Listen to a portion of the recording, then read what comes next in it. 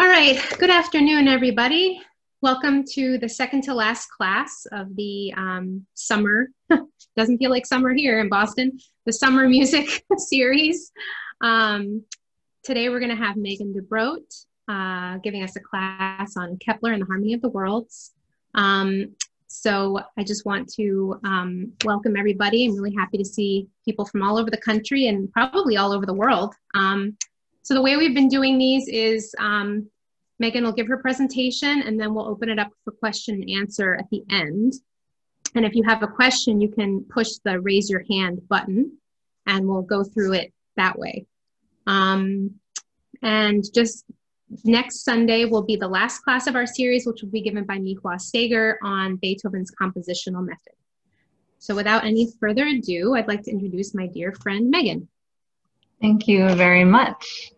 Um, so before I start, let me just say, number one, I think I have way too much material.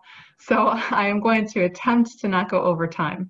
Um, but as people know, from the description of this class, our topic today is to explore the origin of the musical scale and the relationship of that to the planets of our solar system. However, in a sense, the real topic today is the classical principle. That is, that music is not sound. Now, naturally, sound is involved when we perform and listen to music. However, the actual music as such is not in the notes, it's not in the sounds, but it's between them, behind them. It's in the motion of the mind. We hear this in the counterpoint of Bach when it's well performed. We hear this in the German Lied. We hear this in art songs. We hear this in beautifully sung folk songs, in Beethoven symphonies. But we also hear it, or don't hear it maybe, experience it in the musical scale.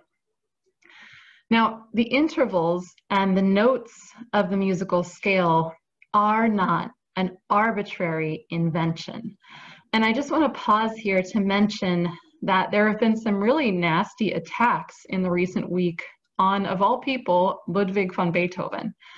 And one of them was an article in Vox. I think they also have a podcast, and another in the New Yorker. And both of these articles say that Beethoven's music epitomizes and reinforces the racism and classism of the classical musical world.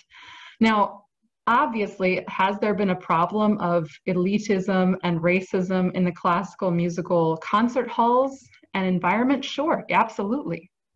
But is that due to Beethoven's music?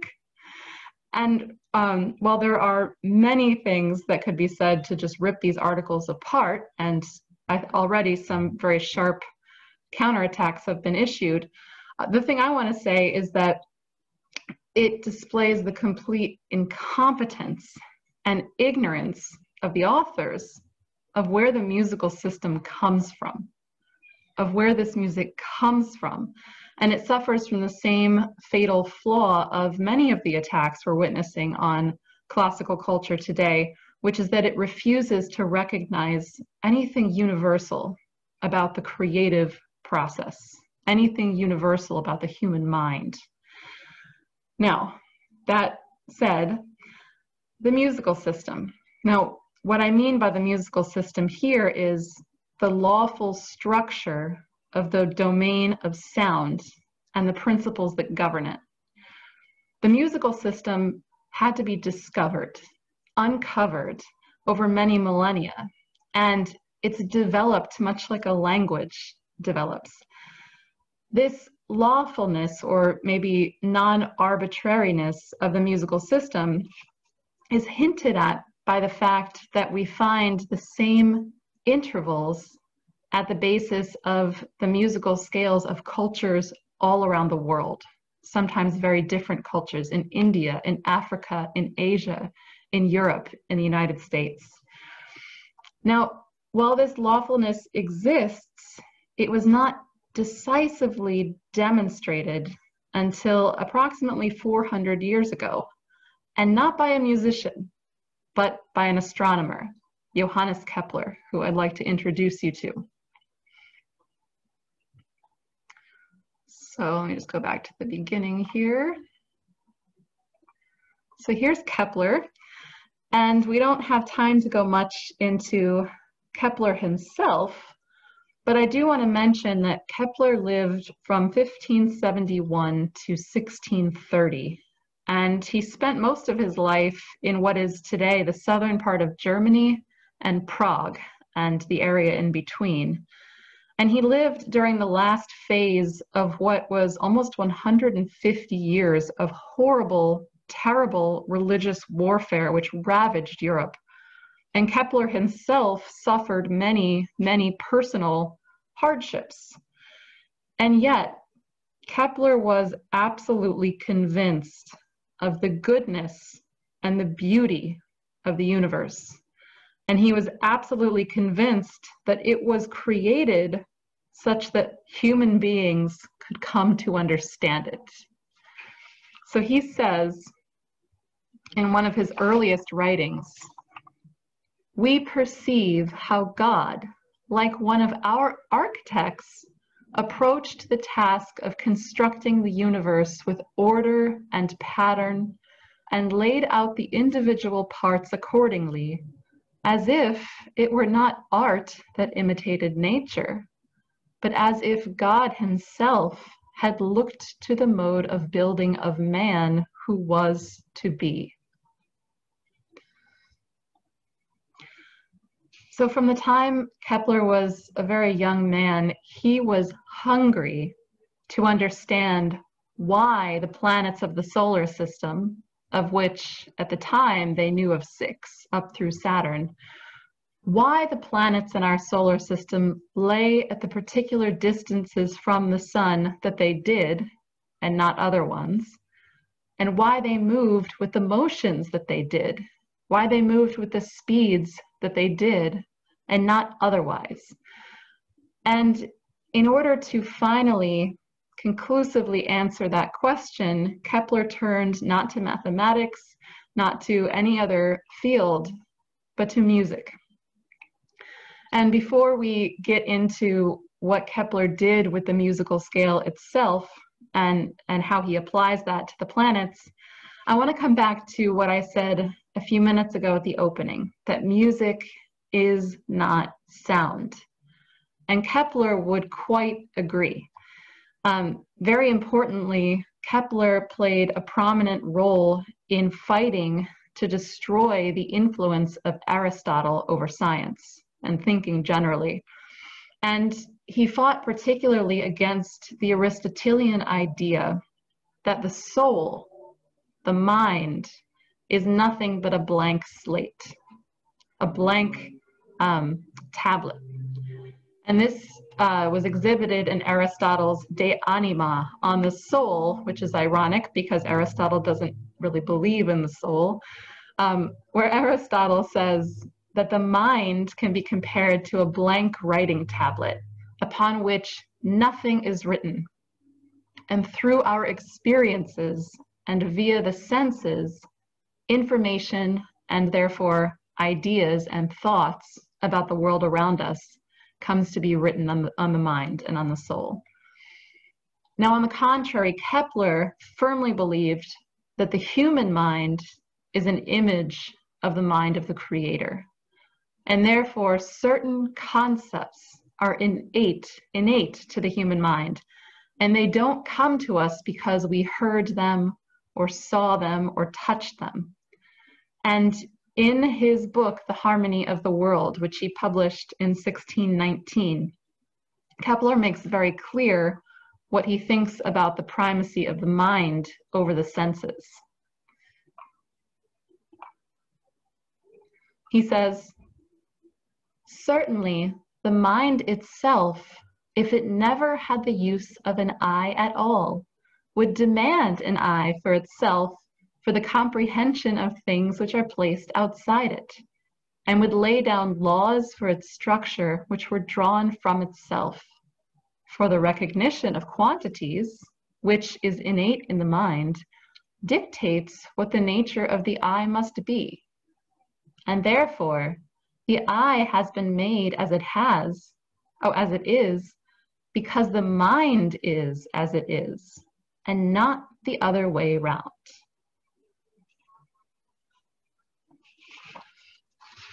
Now, from this standpoint, Kepler considered the musical issue of consonance and dissonance. And he insisted that this is something which is recognizable by instinct without prior teaching. And I think most of you have probably experienced this. I have a quick example to illustrate what I mean in case you don't know what I'm referring to. Um, so I'll play two musical intervals. One of them is consonant and one of them is dissonant. Um, I won't tell you which one, but you'll probably know right away. Um, the, the audio on this might be a little soft, so you might want to raise your volume. So here's the first one.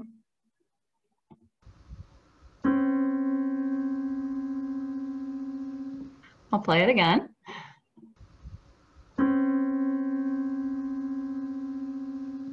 And here's the second one.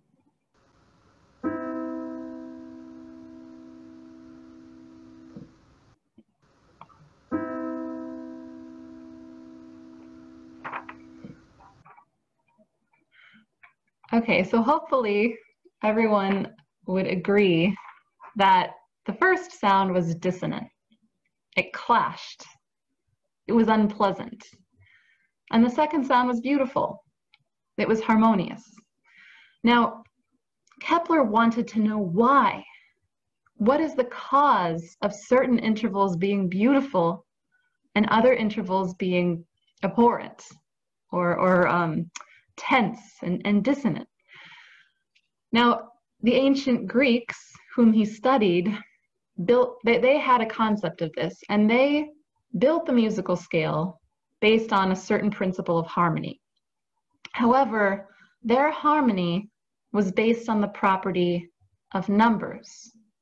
Now, for, so for example, they took um, string lengths. So can you, if you can imagine a um, just a, a, vibrating string, like a guitar string or a cello string, and if you pluck it, it makes a sound. And the Greeks discovered, or uh, maybe not the first, but they discovered that strings which were in the lengths of the ratio of two to one made a harmonious sound. Strings in the ratio of three to two made a harmonious sound. Three to four, four to five, and so on and they um, so they they built their scale upon this but kepler has a problem with it. He he notes that according to the reasoning of the greeks who um, ascribed the harmonies to the properties of number alone that the numbers one two three their squares four and nine and their cubes eight and 27 although they sort of threw 27 out the window, um, were the basis of the proportions of the musical scale. But Kepler had a problem with this. Number one, he said if you follow that reasoning, then certain intervals which are clearly dissonant should be included, and they can't be. But more than that, Kepler rejected the idea that number alone was the cause of consonance or harmony because he said this mere number cannot be the cause of physical phenomena, of physical harmony.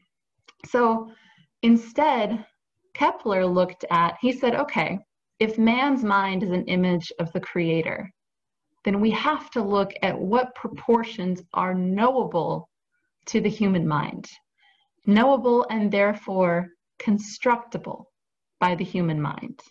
And so in order to experiment with this, he went to the realm of geometry. So here you have an image of a circle. And within that circle, there's a triangle.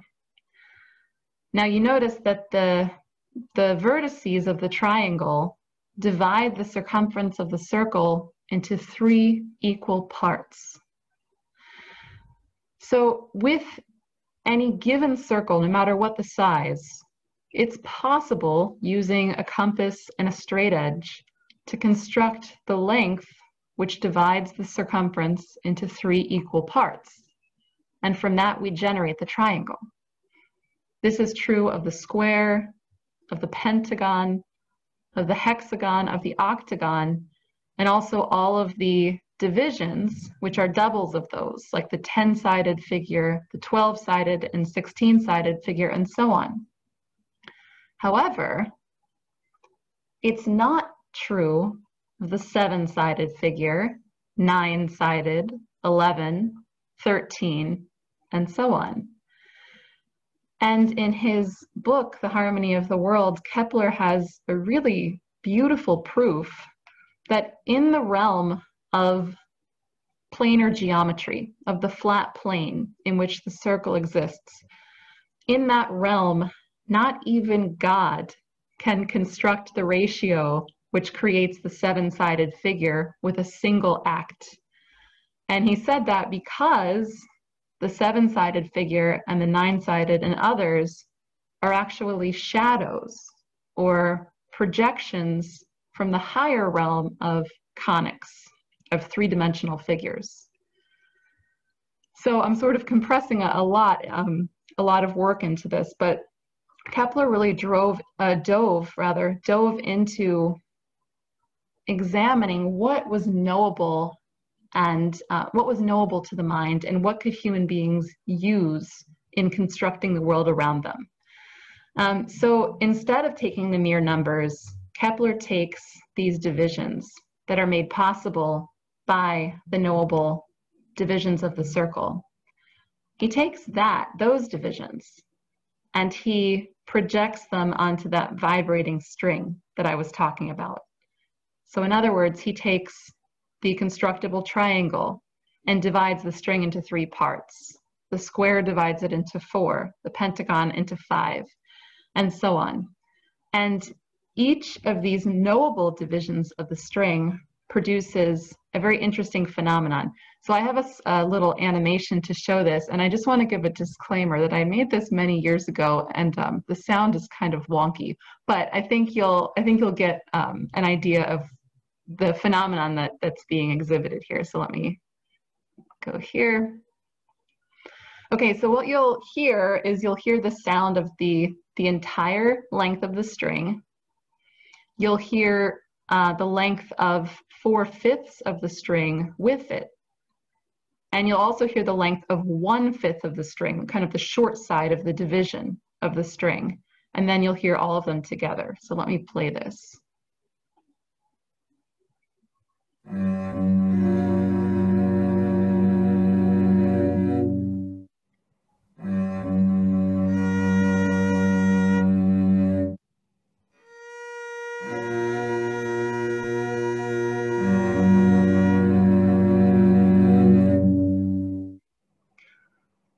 so I'm just gonna leave this up here for a sec. So that the highest sound is a little bit out of tune, I apologize. But the idea is, and if you really did this experiment, you would see that if you make a single division, here our division is we um, measured and divided the string at 4 fifths.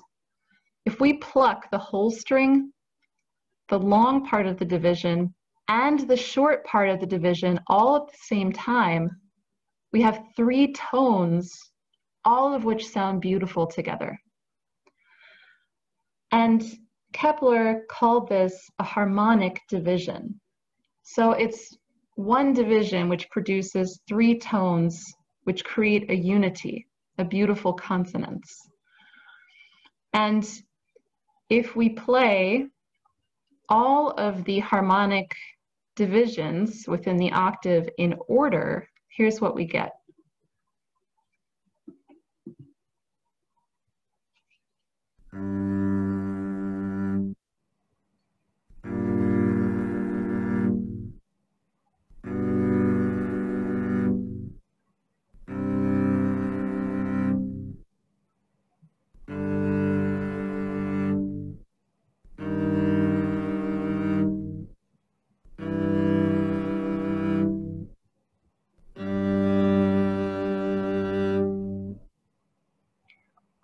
So hopefully that uh, sounded familiar to you, some approximation of the musical scale today.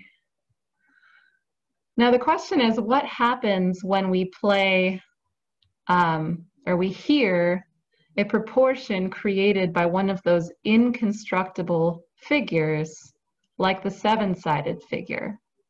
Well, here's a division of five sevenths.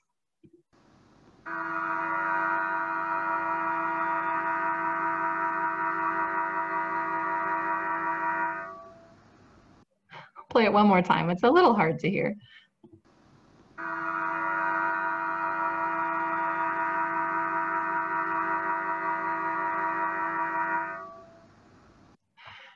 So hopefully you could tell that it's not very beautiful. So here's what Kepler said of this. Since it is mind, now mind, he means the creator's mind, the divine mind. Since it is mind which shaped human intellects in such a way that they would delight in such an interval, he means a consonant interval, the causes of such intervals being harmonious should also have a mental and intellectual essence. That is, that the terms of the consonant intervals are properly known or are unknowable. For if they are knowable, then they can enter the mind. But if they are unknowable, then they have remained outside the mind of the eternal craftsman.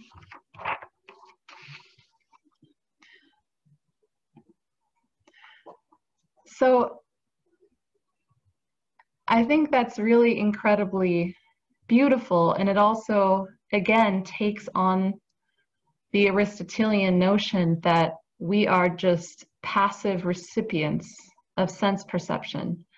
And uh, Kepler actually devotes many, many, many pages in his book to attacking the idea that hearing music, hearing the scale even, hearing the musical, um, hearing melodies and, and musical intervals is a passive act. He says no.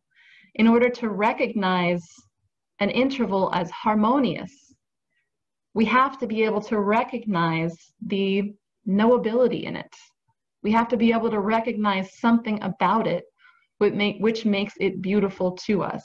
And, and he further points out, he says, look, what is an interval? Well, you have two sounds, which are two separate sounds, which exist outside the mind. They're received into the mind. And only in the mind are they made one, is a unified concept created of them that can only occur by an action of the mind. And so this issue of knowability becomes really central to this. Now, it's from that series of knowable harmonic divisions that Kepler goes on to derive the major and the minor musical scales. And we see here, here we go. Um, we see a graphic that was remade from his book with the, the on the top it says hard melody that's the major scale and we see the divisions and the proportionate divisions of the string that create the notes of the major scale. And on the bottom we have oops we have the minor scale. And the intervals that I've covered up there but there we go. Um, the ratios which create the minor scale. Now, before moving on and um, looking a little bit at the solar system, I want to raise a problem or a crack that arises in this musical system. So I want you to think about the major scale. So we can begin the major scale on the open string, the, the first note that we would pluck the longest string length. Um, or we could, could begin it on the next note up or the next note up. So here's a quick example of what I mean.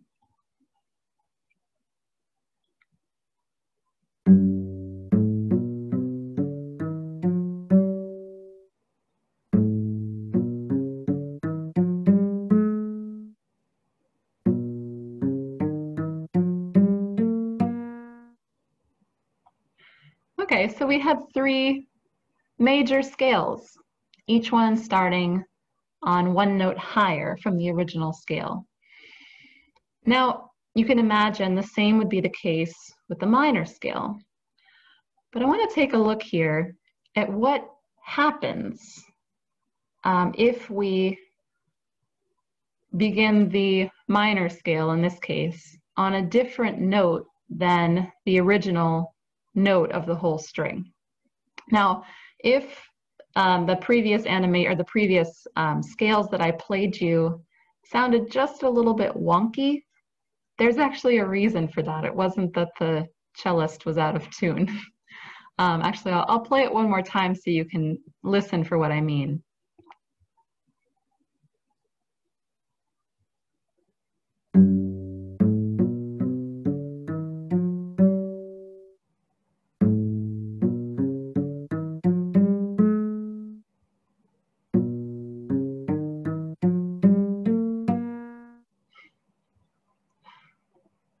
If you have a good ear, maybe you notice that those scales, sound, the, sec the second and third scales sounded just a little bit off. Um, there's a reason for that. So if we look here, I'm going to try to make this intelligible here. Um, if I call the, the note, which is given out by the whole string, G, so that's our, our lowest note is G. If I make a division of 5 sixths, that's a minor third. So we go to the note B flat, right, which is sort of between A and B here. So from G to B flat is a minor third, a 5 sixths ratio. Now, if I start instead of G, if I start on A, the second note of the original scale, and I go up to the note C, that's also a minor third. But but we expect the minor third to be a ratio of 5 to 6. But if you do the math, as I have here, because the note A is already an 8 ninths division of the original string, and the note C is a 3 fourths division of the original string, the interval between them is not 5 sixths. It's 27, 30 seconds. Now that might mean nothing to you, right? What's, okay, how far off is that, right? Um, it's about 99 or a little less than 99% the same as 5 sixths. Or put otherwise, it's about, instead of 5 sixths, it's about 5.06 sixths, right? 5 and a 16th sixth. So it's very, very close. It's a tiny difference. And if I played the two intervals in succession, you probably couldn't tell the difference. But if I play them at the same time, you will absolutely hear the difference. So we're going to hear that. So what this is, is I've taken the intervals of the A minor scale, and I've just moved it down so that it starts on G. So these are going to be the G minor scale and the intervals of the A minor scale, except I moved them down so that both of the scales start on G so that we can hear the differences between them.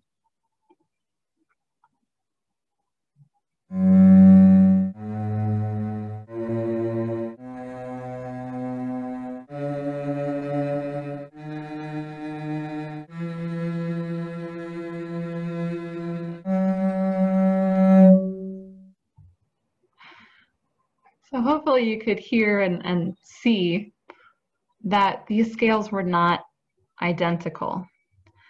And um, I know I'm sort of moving through this very quickly, but this is a real problem that has existed, does exist in musical history, which is often referred to as the problem of tempering.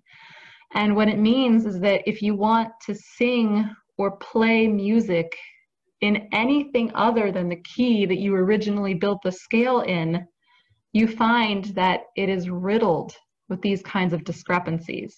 Sometimes it's not a problem and sometimes it is. Now here's a quick example. I'm going to play a few seconds of the Bach prelude in C from the first book of the Well-Tempered Clavier. The first one is going to be in the original key, right? The key um, that we've, that where all the, the divisions are harmonic.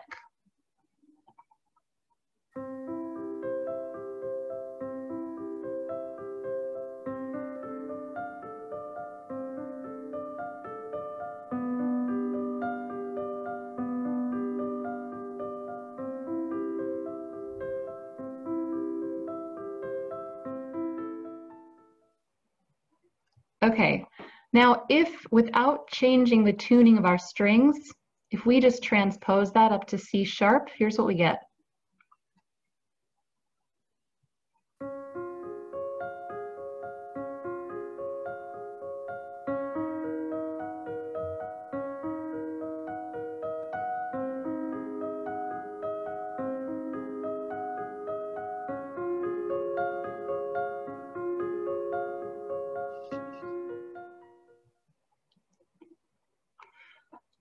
Okay, so hopefully that sounded horrible to to everyone. Um, so again, this tempering could be a whole class and should you know could be a whole class in and of itself. Um, the important thing to say here is that Kepler addresses this problem in his writing The Harmony of the World. He actually dedica dedicates quite a few pages to it. And he raises the paradox that there doesn't seem to be a good solution to this tempering problem, to this tuning problem. Um, so that's number one. He doesn't find a solution, or Kepler doesn't find a solution in music per se, but he does find a sort of solution when he turns his focus back to the planets of the solar system. So I want to end by returning to that, returning to that issue. Um, now, the idea that the motions of the heavens are harmonious or musical is a very, very old idea. It didn't originate with Kepler. It exists in many cultures. Again, you can look in the Vedic hymns. There are ideas in Asian culture that go back many, many, many centuries. Um, similarly, in Western culture, an idea that there's something harmonious about the motions of the stars and the planets in the sky. Um, so Kepler by no means invented that idea, but he did give it substance. So when approaching this question of why do, do the planets move with the motions that they do and not otherwise, he first asked himself, well, if I were the creator, if I were God, how would I have created the solar system such that it was the most beautiful and the most knowable to humanity who would eventually come along. And he asked himself, okay, if the harmonic ratios are to be found among the planets, in what feature, in what characteristic of the planetary orbits should I place them? In other words, should we look for the harmonic ratios in among the distances of the planets from the sun? Should we look for them among the ratios of the time that it takes for each planet to orbit the sun in the year? Now, eventually, Kepler rejects both of those and, and several other things and finally decides that because the sun is the mover of the planets, the cause of their motion, that the ratios should appear to, uh, the harmonic ratios should appear from the vantage point of the sun. And so he hypothesizes that there would be harmonic ratios between each planet's extreme motions as seen by the sun. So let me try to illustrate that here. This is a very exaggerated um, planetary orbit. But our planets orbit the sun not in perfect circles, but ellipses. And this is something that Kepler discovered a little more than a decade before he published The Harmony of the World.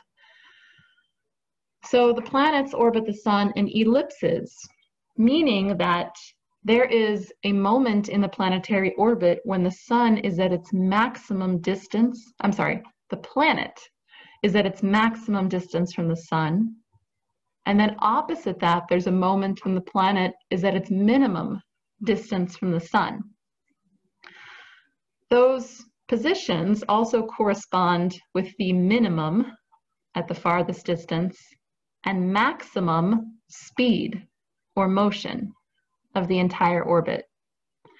So Kepler hypothesized that if you were standing on the sun, or if the sun had some kind of way of sensing it, that the ratio of the fastest and slowest motion of that planet ought to be a harmonic ratio.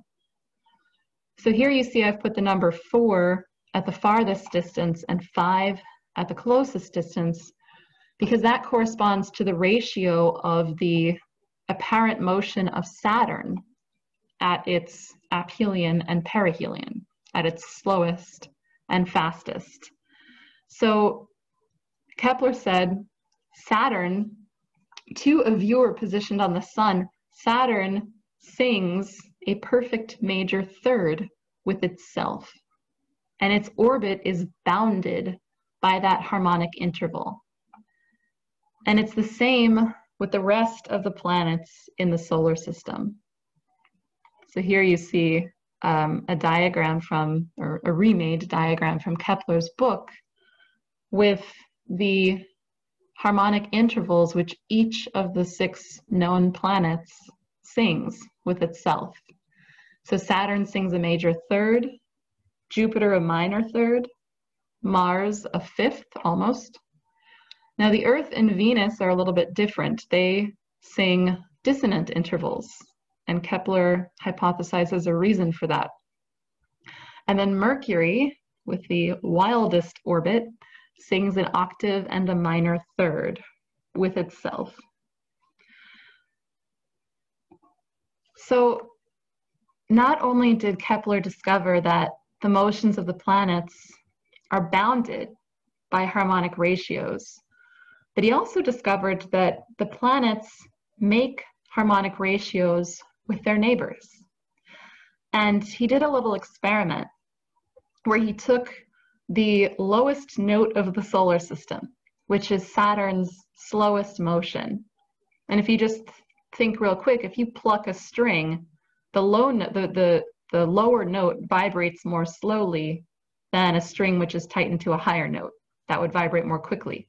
So he takes the slowest motion of the solar system, which is Saturn, and he calculates from Saturn's motion what, you know, again, if I were the creator, what motions would I make the planets go, or how fast would I make the planets go, such that I could construct the major scale and the minor scale against Saturn's lowest note.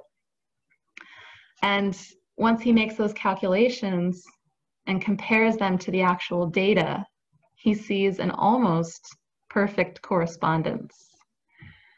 So here you see the major scale, and underneath the, the um, musical staff, you see the motions of the planets.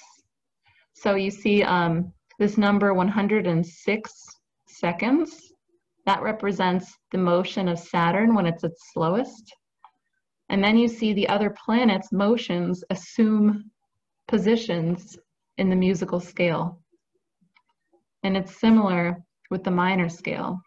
If we again take the motion of Saturn, this time he takes the quicker motion and calculate what the notes of the minor scale ought to be, he finds that the other planets fit it almost exactly.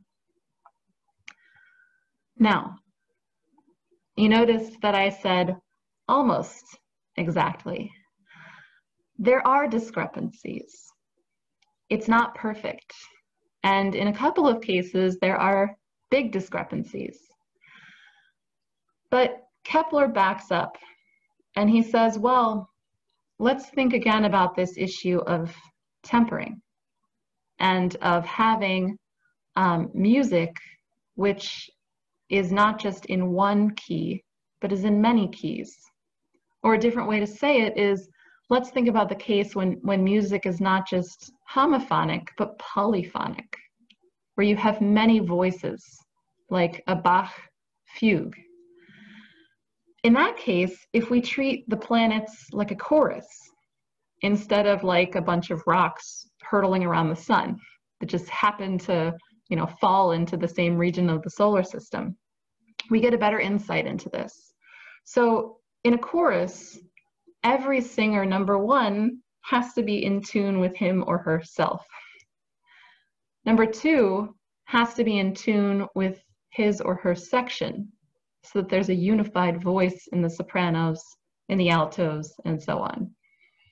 But each and every singer also has to be tuned in to every other voice in the chorus. And at every moment has to be listening and tuning into the whole. When you have a process like that, and, and it's actually probably a little bit easier to witness in the case of a string quartet, where it's a little bit smaller and um, perhaps a little clearer to the ear. When you do that, what you would find if you could measure the pitches that every singer or the pitches that each of the members of the quartet were playing, you would not find those perfect numerical ratios. You would find ratios which are a little bit larger or a little bit smaller, and intervals which, in and of themselves, are a little bit imperfect tempered, mixed. But the harmony is no longer in the individual voice, it's in the whole. And so, for time reasons, I decided I would not try to take you through Kepler's, um, when Kepler reapproaches the solar system from that standpoint, but hopefully it suffices to say, to tell you, and maybe let this be a um, provocation um, to, to work on Kepler yourself. Kepler goes back through the solar system and hypothesizes if I wanted these planets to not just be in tune with themselves or their neighbors, but to have as, as much, um, to have each planet tuning, so to speak, with as many others as possible, I would have to make slight adjustments to their motion in this precise way. And he walks, he walks through that. And when he does that, what he comes up with is a system which is tempered, just as a chorus is tempered. Um, anyway, it's it's incredibly beautiful. And when I was working through this, I realized that Kepler really solved the tempering problem um, about 150 years before Bach, or maybe it's yeah, about 150 years before Bach did. And his solution the reason I say that is because Kepler, again, coming back to our opening theme, Kepler locates the issue of music, of sound, of tuning, of tempering in the mind. The primary thing is in the motion of the mind. And it's not just an arbitrary mind, it's a mind which is an image of the creator of the universe, or a mind which expresses a certain universal creative principle which is common to all human beings. And so, from that standpoint, I think he actually opened the door and made possible the revolution that Bach later carried out with his compositions, with his well tempered clavier, with his fugues, um, and, and, and the kind of um, enrichment of the musical language that we owe to Bach. So I, oh, I, am going to end it there. I have one final quote that I want to read before we open it up for questions. So this is from the, uh, the Harmony of the World. Therefore, the motions of the heavens are nothing but a kind of perennial harmony, in thought, not in sound, through dissonant tunings like certain syncopations or cadences by which men imitate those natural dissonances, and tending towards definite and prescribed resolutions, individual to the six terms, as with vocal parts. So the six terms, he means the six planets. and marking and distinguishing by these notes the immensity of time.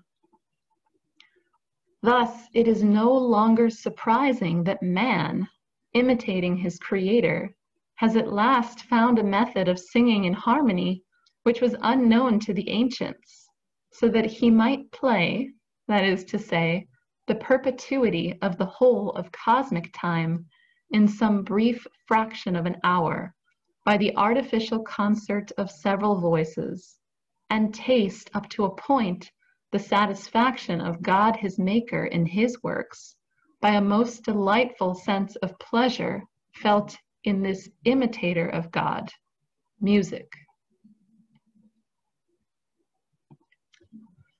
So I will stop it there and open it up for questions. Wonderful, thank you. All right. Um, so if you have a question, you can raise your hand, click the raise hand, and if you can't figure out how to do that, just write in the chat that you have a question.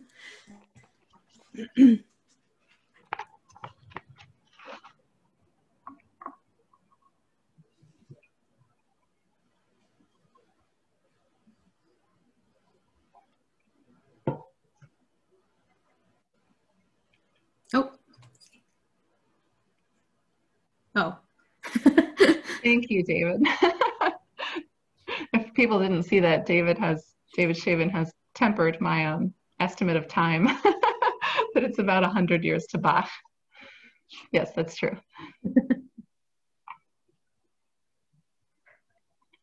well, I've either stunned everybody or confused everybody. I do have a question. Yeah. Can I? Can, um, um, two questions. This is Joe in Houston. Okay. Um, so in your in your major scale uh, going up, uh, it seemed there was a, something called vacant uh, uh, a space unfilled. I was wondering if you could say something about that, and also um, with the later discovery of Uranus and Neptune, did the same harmonious patterns uh, uh, manifest themselves, you know, in the undiscovered planets that we you know, came to understand um, be Sure. Let me go back to the slide here. Yeah, and it, you didn't catch it, but there's a vacant one in the minor scale too. Um, yeah, so there's in Kepler's planetary scale, there's no planet that sings the second note of the major scale, the A in this in this case. But in the minor scale, there's no planet that sings the second to last note. So Kepler noticed for sure, you know, he um he noticed that it was there it didn't seem to be perfect. Um he wasn't terribly worried about it. He did note the symmetry, which is something to note. I don't know exactly what it says, but he did make note of the symmetry, the fact that it's the first, the second note from the bottom in the major scale and the second note from the top in the minor scale, which are vacant. Um, those notes are dissonant, although of course there are some other dissonant positions in the scale which are taken. So, I, I mean, I don't know quite what to say about it except for that. Um, I mean, I guess I would also, could also add that he, um, I think he really found the certainty of the of the discovery in the tempering process that I kind of quickly described. Um, I think he wasn't terribly thrown off by some of the imperfections of the data um, because what he really was um, looking for was the kind of um, the kind of tempering and adjustment process that you see in polyphonic music. So anyway, there's, there's probably more to explore there, but that's what I could say about it. Now on your second question about the outer planets, Uranus and Neptune, no, they're not harmonic, which is totally fascinating. Um, they, um, they're quite dissonant, actually. Um, so I think that's just something that we need to explore. It obviously means that Kepler's discovery is not the whole picture, right? Um, it's not, it can't account for that. So I did start looking many years ago, I did start looking not at the outer planets, but I started looking a little bit at the, um, the bigger asteroids in the asteroid belt because they're also dissonant. And obviously, the asteroid belt's not a planet, it's a huge rubble field. Um, but I think, you know, Kepler went so far, and I think there's there are certain discoveries, number one, that have been made, but perhaps also must be made um, about the musical system, which could be then applied to look back at what Kepler did and perhaps bring up to date, modify, or subsume what Kepler did. So yeah, I think it's quite exciting actually. Oh, and then one more thing is that my friend Ian sent me a link that I have not yet read, but he says that um, Kepler's harmonies were discovered in some exoplanets. So that's really exciting. Megan, there are a couple of questions in the chat here. I'm just going to read them, okay? Yep. The first question is from Ian Overton. It says, I heard that the planets in our solar system were in harmony when Kepler figured them out, but the orbits don't show harmonies today. Why is that?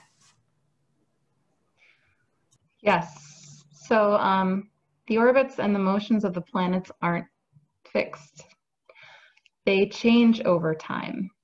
And Kepler was aware of that he um, actually wrote letters to some friends indicating that he, this was later in his life, he wrote letters to friends indicating that he intended to um, explore and uh, figure something out about the secular perturbations of the orbits, or in other words, how the orbit, how the ellipticity of the orbits changes over time. Um, what we do know is that the planetary orbits the the particular ellipse that they're in it's not always like that. It, it kind of oscillates between being a little bit more elliptical and a little bit less and a little bit more. And um, kepler had every intention to like you know now that he made those discoveries to now take this on and incorporate that. So uh, yeah i mean that's again i think that's a challenge to future and current scientists to take on. Okay another question here in the chat um, Susan B asks, can you play the Bach prelude in C and then in C sharp again and discuss what you said was wonky in the transposition? Sure. I'm hoping you can hear what was wonky. Um, it doesn't always come through in the, you know, computer world. Uh, here we go. Okay. Okay, so I'll play the first one, the, the prelude in C. And this was done on a keyboard where the notes were tuned to those perfect um, ratios that Kepler used to build the scale, okay? So you'll hear the first few seconds of Bach's Prelude and Fugue played on a piano that was tuned according to Kepler.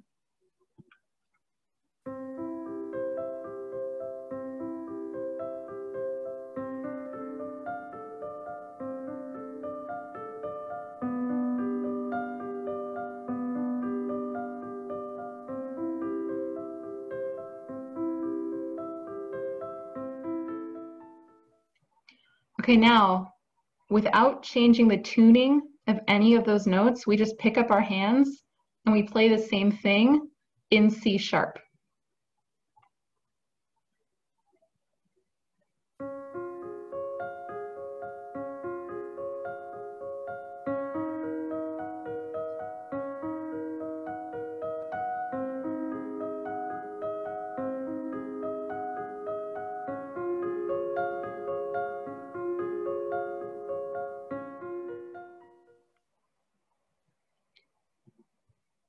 Susan, was that more clear?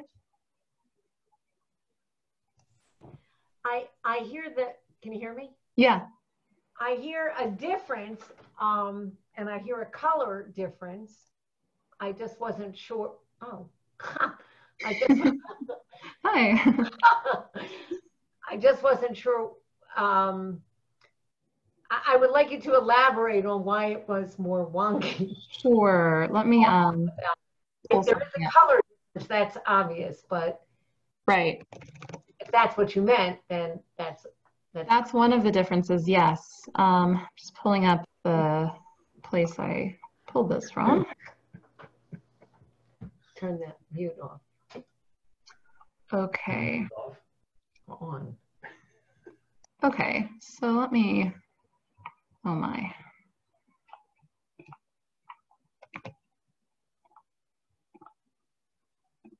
Okay, so here, I don't know if this helps at all, but, or if you can see it, um, but here we have just a little diagram of the, of this, the, well, three scales, but let's concentrate on the top two. So on the left, you see the C scale. So that's your do, re, mi, fa, sol, la, si, do. And on top, I wrote in blue the ratios of the neighboring notes, right? So the, the interval between the first two notes is 8 ninths, the next two notes is 9 tenths, and so on. For the C sharp scale, the interval between the first two notes is not 8 ninths. It's something, I forget if that's smaller or bigger, but that's something just a little bit off, right? The interval between the next two is, is the same, it's 9 tenths. But the next interval is not 15 sixteenths, it's something a little bit different. So what that ends up creating is not just differences in neighboring notes, but it means that, for example, um, I think in, in the C sharp scale, I think the fourth, so the interval from C sharp to G sharp, I think, is really dissonant.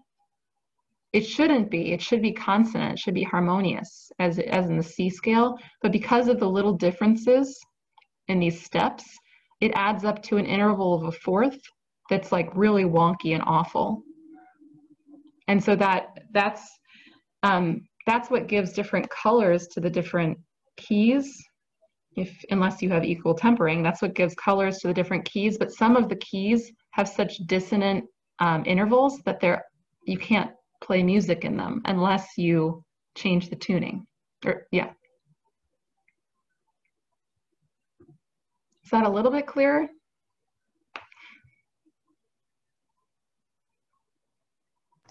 Y- yes and no. I kind of I didn't hear. I was listening for, and maybe I just have to listen better.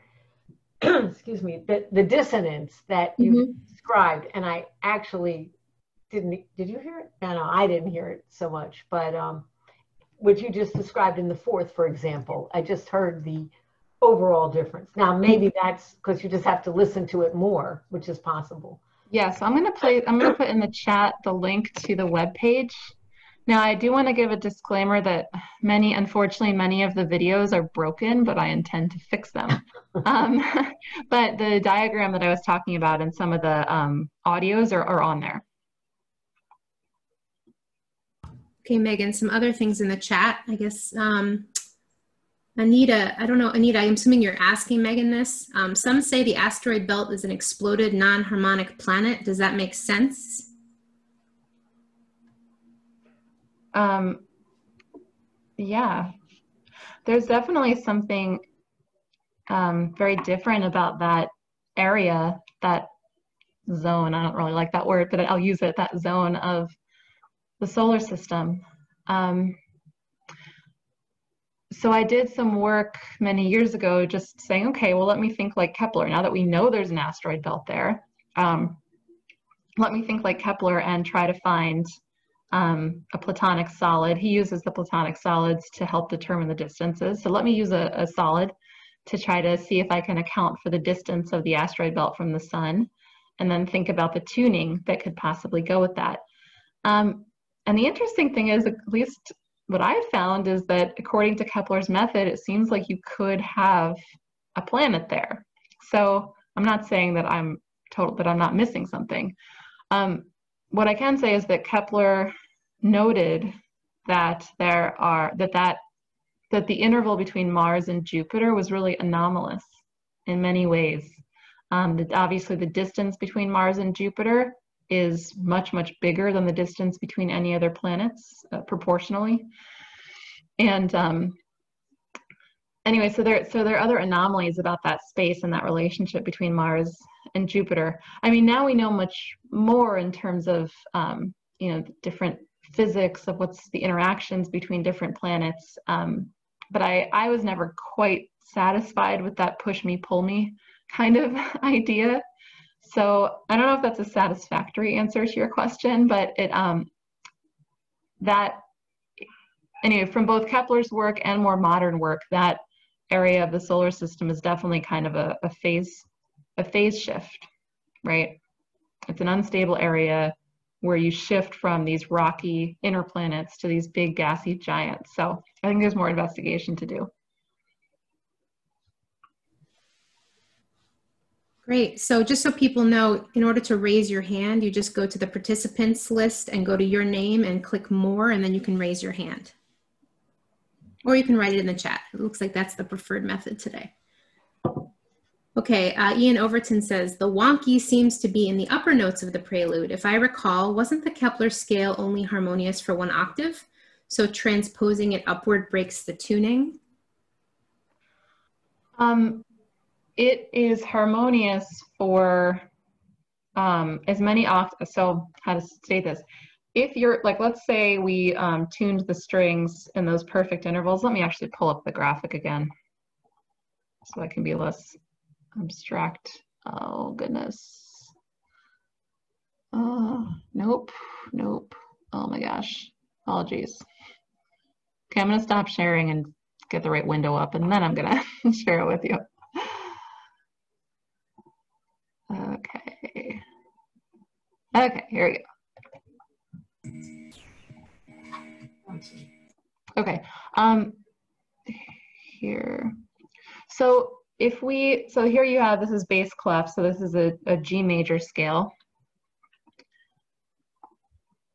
Uh, the, the top one is a G major scale. So um, the note, which is an octave above the first, G, is just this half string, right? So then if we took the second note of the scale and we just made a, a string which is half that length, four ninths, that would be an octave above. So you can go as many octaves as you want of the G major scale. The problem comes in when you, when you start the scale on a different note, like B natural, for example.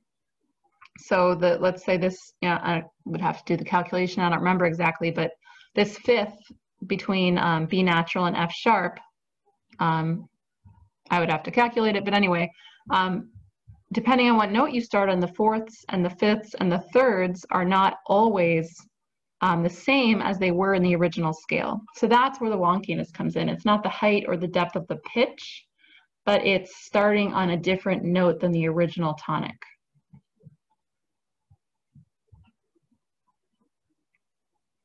Okay, great. There's another comment in the chat, and then we'll have Renee right after that, okay? And then Mary, and then I'll ask Mary's question. So Mike Billington says, Kepler said in one of your quotes that, quote, we can now sing in harmony, quote, sorry, end quote, implying they had already done a well tempering of the scale before Bach. Comment? I don't think he quite meant that. Um, what he meant is polyphony. So he lives during a time where polyphonic music, there was really a an explosion of the development of polyphony. Um, and you know, to us now living in an era of Bach and Beethoven and Haydn, etc., um, might sound a little primitive, but it's, it was actually incredibly revolutionary. And um, Kepler went to seminary at a university in Tübingen, Germany, where you had a really, really rich musical culture. And um, he just immersed himself in these, the motets of Josquin des Prez, um, Orlando di Lasso, many other people.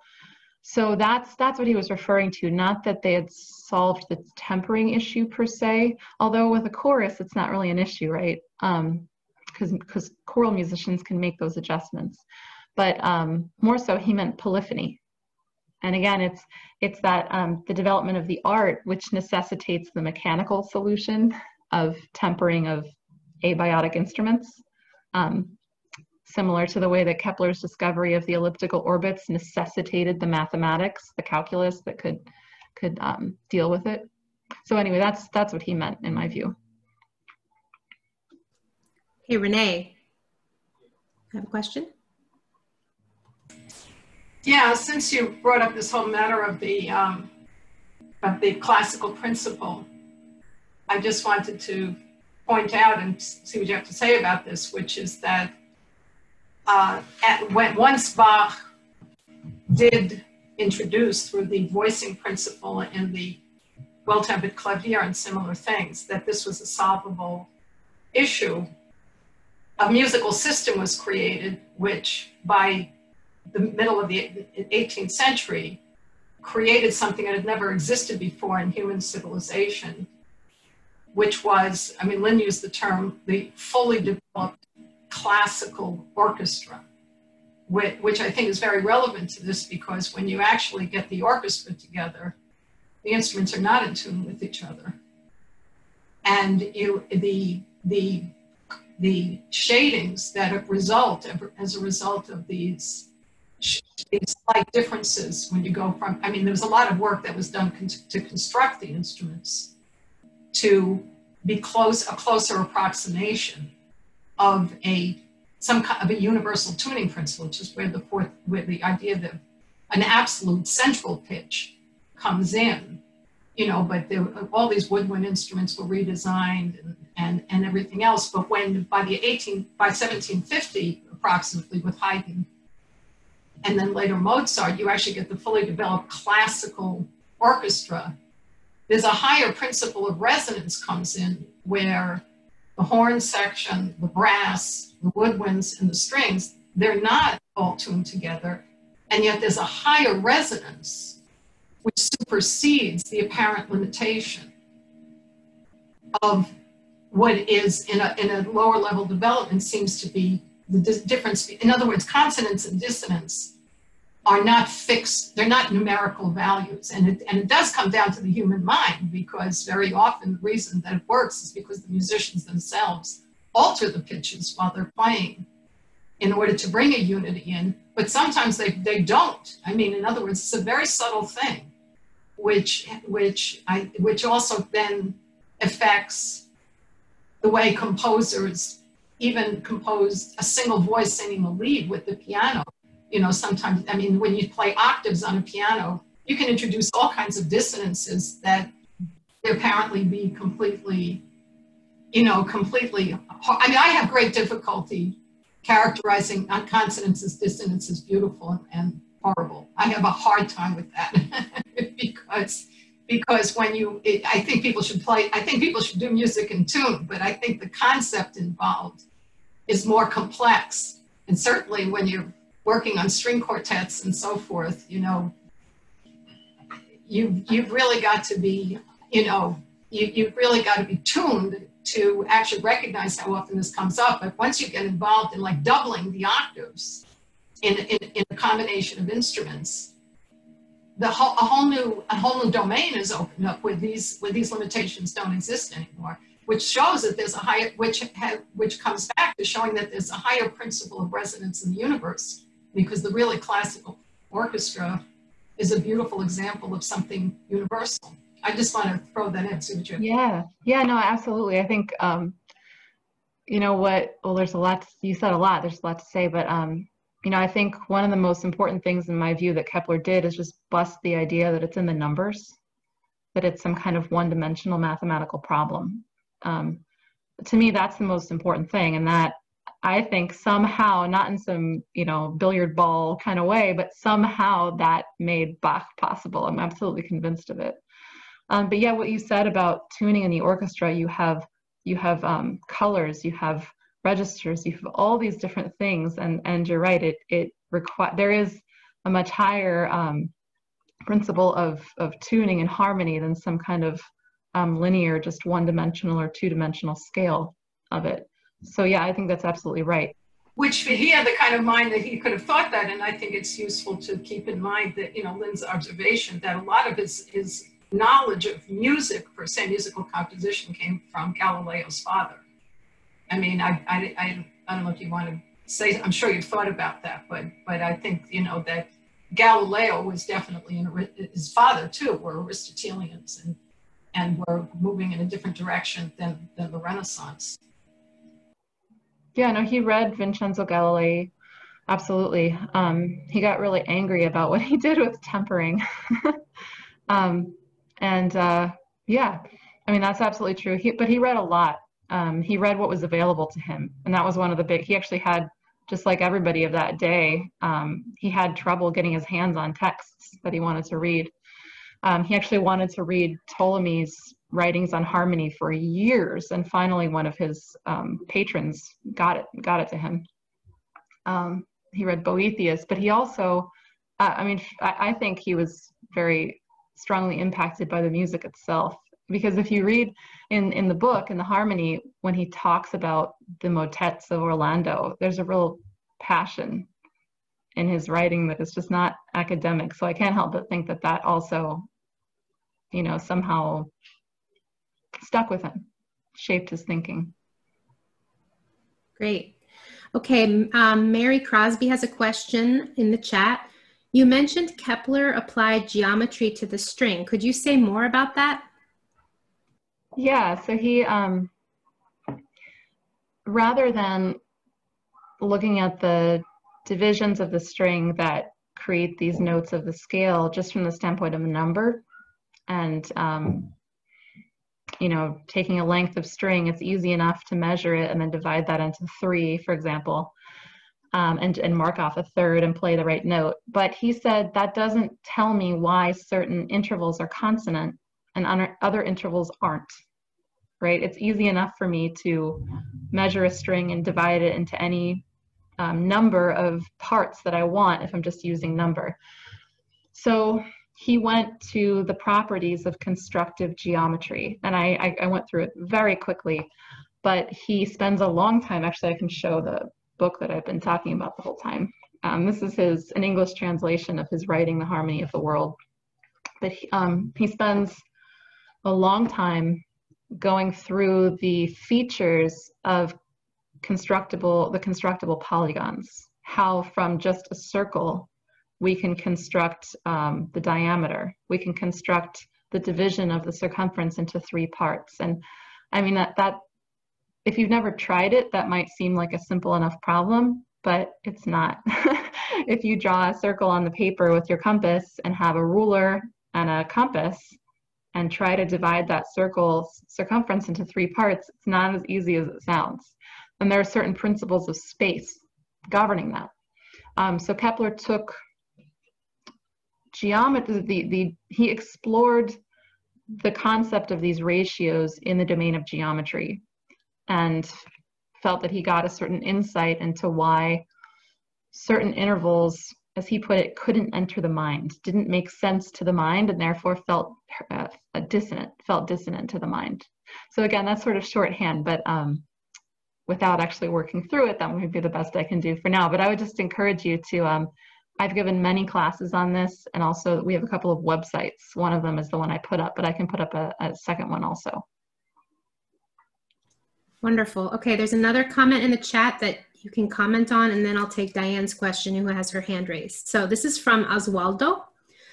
Megan, I remember having read a meeting of LaRouche with scientists where he, with a with scientists where he placed a request to them to study the process of the condensation of a huge plasma sphere or pa, para, sorry, paraboloid subject, subject to a soft magnetic perpendicular field. And later on, some scientists came out with a solution that the condensation were in analyses whose distance from the center were found mathematically. They were distributed in a harmonic geometry.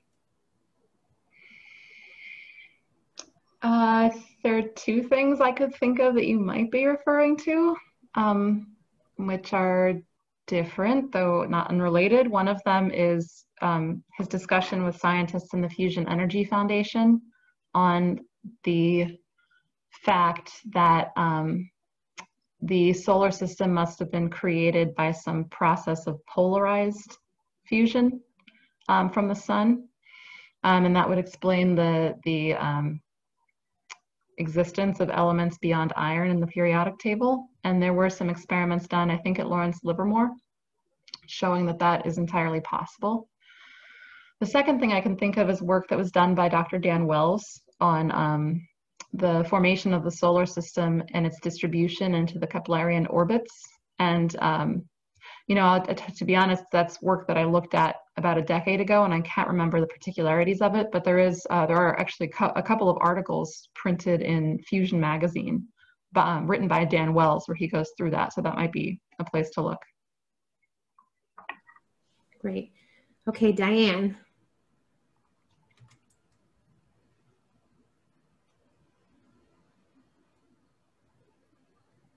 Hmm. I think she's unmuted. Yes. Whoops. Now can you hear me? Yep. Yeah. Okay. I just have a hypothesis, and I'd like to test it. If you could play the um, Bach prelude in the C sharp key now without playing the other one first. Sure. And see if people can hear the wonkiness.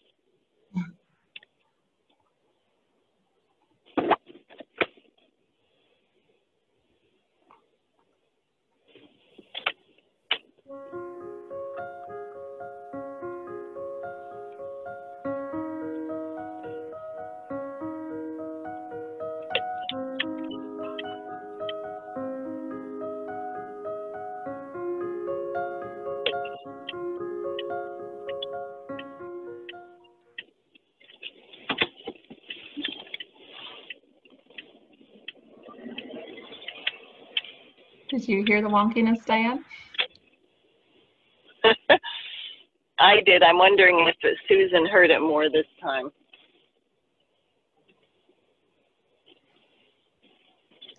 I heard it in the playing, not in the intervals, but I'll, I'll, I'll, I'll keep working on it. no, because I think, you know, your mind, it's very interesting. And Lyn, the reason I ask that is I think that your mind sort of internalizes or creates this geometry of a key and you sort of accept the C sharp minor more easily after having heard the other one. But if you hear it first, it sounds a little more out of sorts. Now, I don't know if that's if other people thought that or not, I would be curious to know. But uh, because Lyn had said once when he was talking about connection or how you hear, hate to use that word, hear, perceive um, something, that he, um, that it's the intervals, you hear sort of in a key that you're in, but you also hear the key that you're in in relation to Do major that it's not simply pairwise. There's the action between one inter interval to the next. Then there's the note itself in relation to the key that you're in. And then there's the relation of that key back to Do major, which I found really kind of wild to imagine your mind would be doing all that at once. But I actually was reflecting on how I heard it and realizing that in part you do kind of um, have the whole system in your mind and not just one particular key, which makes a difference how you would perceive that second one, if that makes any sense at all what I'm saying to you. It makes sense to me. It actually reminded me of what I wanted to say to Renee and I forgot, which is that um, what you brought up about dissonances, it's not just black and white, like bad and good. Out of context, I think it is. But who listens to intervals out of context, right? We're talking about music. And I once asked Mr. LaRouche, how can you tune a dissonance? Because you can. If you're working on a, a particular piece of music, you can tune that dissonance. There's a right, there's a place when it, there's a, a moment when that you can get that dissonance to lock in. Why? Um, and he said something um, similar to what Diana was just reporting um, you have to the, the the tuning of the dissonance is determined by the um, development of the poly the two polyphonic voices the relations to the keys that they're in and those keys relations to the whole musical system. So it's a it's a much more complex space that gives a precise determination to something like a dissonance which if you think of it too simply is just a clash but, but there actually is a precise measurement of it.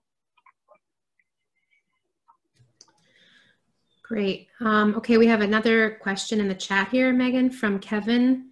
Um, to return to your opening, it is really striking exactly how scientifically universal Kepler defines music in contrast to the absurd cultural relativism shown in the recent attacks on Beethoven. Can you say more? Yeah. Um, I mean, just on these cultural attacks, I mean, one thing I'll say is I read a couple responses from musicians, which were really sharp and insightful, um, and really attacked the authors for being small minded and limited, to be kind. Um, so it's sort of clear, but you know, I think um, what we're dealing with today in this you know, in what these articles were saying about Beethoven's music and the, the Western musical system oppressing women and people of color and things like that, it completely denies um, the truth that there's a universality to human thought. Not that we all think the same, the beauty is that we don't, but there is truth that we can all come to know we can all come to replicate discoveries in our mind and know them to be true. And it's not an opinion, and that's not oppressive. That is beautiful. that's incredible. Um, it's responsible for the progress of humankind. And so that's what this stuff is an attack on. It's an attempt to convince people that they're nothing but their sense perception. Their identity does not extend beyond their biology, which includes the color of their skin, where they're from, the so-called cultural niche they're supposed to be a part of um, their language and so forth. And so anyway i mean that's what it is. And uh, kepler obviously did not suffer from that despite the difficult circumstances he was living in.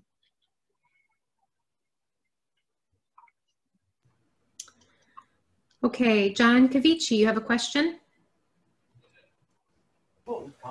Yeah, yes hello can you hear me? Yes Okay, uh, well, a couple things. Uh, uh, I did not hear that dissonance in the C sharp one hardly at all. It did, maybe uh, because I don't I don't listen to modern music. maybe it somehow got into my mind or something. But so that that was very peculiar. Um, and also, didn't Bach write a C sharp? Maybe it was a C sharp minor. Didn't he write a prelude of that? So I'm, I'm so that was, you know, know, I was kind of interested in that. Yeah, yeah, he did write. I mean, to me, I'll again, I think there is a certain limitation with the fact that I used a digital piano and where I'm playing it for you over Zoom, but um, uh, yeah, no, Bach was. Oh, what I was going to say is, to me, it kind of sounds like like your piano tuner was drunk or something, and you know, it's or like it's a honky tonk. But um, but no, Bach did write a C sharp minor prelude, m- more than one. And there's nothing wrong with the key of C sharp minor, but um, but um, by Bach's time and, and even by Kepler's time, really, nobody tuned their pianos or their organs in the kind of um, tuning that I had my pianist friend play that in.